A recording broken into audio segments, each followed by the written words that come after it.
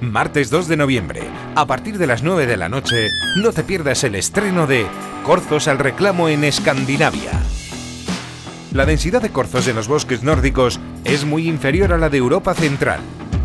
Por esta razón, su caza no comienza hasta que se acerca el final del periodo de celo.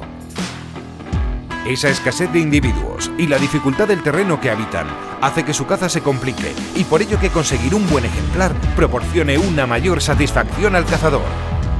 Disfruta de la caza con los estrenos de Cazavisión.